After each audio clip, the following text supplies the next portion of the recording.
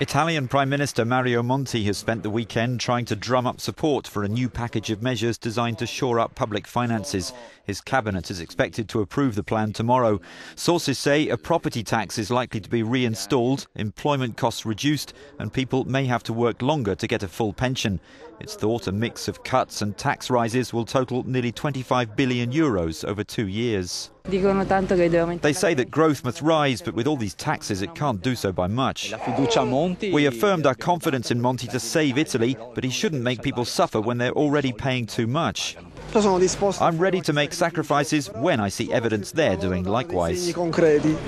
The measures are seen as a vital step towards calming the debt crisis in the Eurozone's third largest economy and reassuring nervous financial markets. Some nervous Italians have already begun gathering at the Parliament's gates, wondering what lies in store.